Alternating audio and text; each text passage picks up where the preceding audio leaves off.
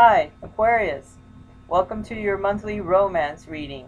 If you guys have not listened to the general romance reading for the month of May, go ahead and do that first as this video is an additional support for your sign for the month of May. Without further ado, the card that I have pulled for you for the month of May is New Love.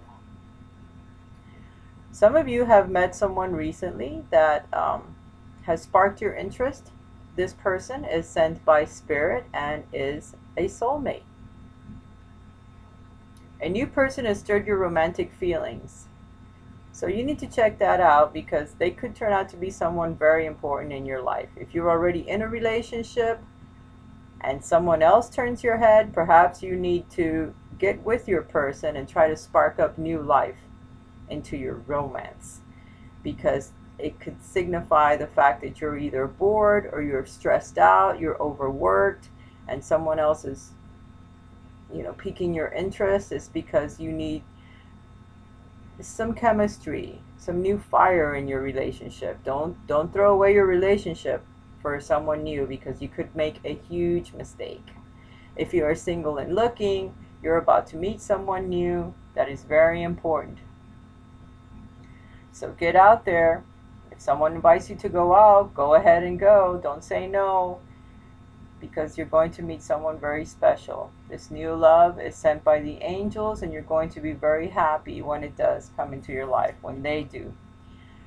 The additional card that I have pulled for you for the month of May is the Chariot. The Chariot is the lust card. It's the love card. It's the moving forward card with your emotions, with your love.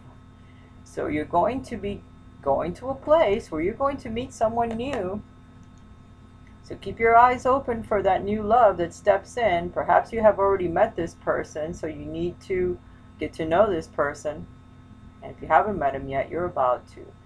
Sometimes we uh, meet people and we don't recognize them because we think, oh, well, they don't have black hair, they don't have blonde hair, they're not short, they're not tall, they're not this, they're not that, they don't have enough money, they don't have a home there's always a reason why you think that that's not your soulmate, but perhaps you are looking at your soulmate and talking to your soulmate and you don't recognize them as such. So you need to give people that you just meet a chance because you never know. They could be the one you're looking for. All right, guys.